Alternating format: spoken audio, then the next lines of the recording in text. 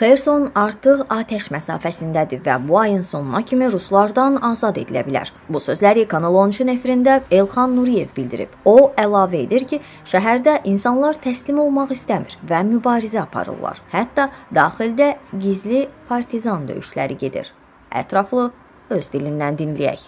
İndi elə bu günləri günorta üstü hərbiçilərdən bildirirlər ki, müəyyən kəşfiyyat qrupları e, mən e, onu da Facebookda yazmışdım ki, üfüqdə görsənir Xersonun şəhərinin qıraqdakı binaları. Yəni atəş məsafəsindədir Xerson artıq.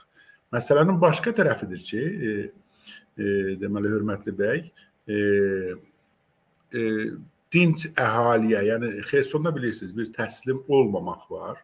Xersonda e, Ukraynalılar belə deyək, e, özləri də müqavimət göstərirlər. Xersonda Rusiya tərəfin təyin etdiyi bəzi inzibatçılar hətta yoxa çıxır. Orada bir partizan müharibəsi də gedir daxildə. Yəni Rusiya tərəf bunu deməsə də.